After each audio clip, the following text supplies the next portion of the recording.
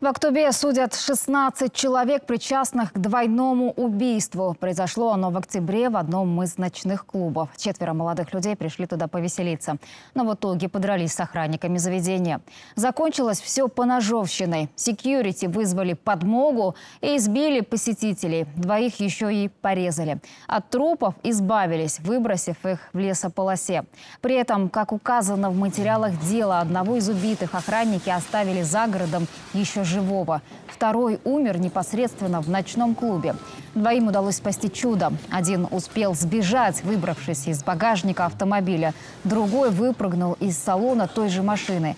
На скамье подсудимых в итоге 16 человек. Охранники и арендатор клуба. Им предъявлены обвинения сразу по нескольким статьям. Убийство, покушение, похищение и хулиганство.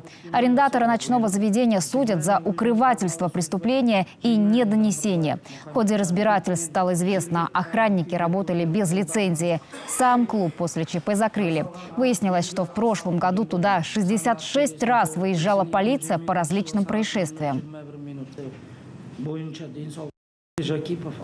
Жакипов пришел в себя, выбил ногами дверь багажника, выбрался на перекрестке, побежал в сторону столовой и стал просить помощи у прохожих. Похитители не стали его догонять, чтобы не привлекать внимание полиции. Истекающего кровью Тулеова они привезли на пляж Тропикана и оставили среди деревьев, чтобы никто не нашел.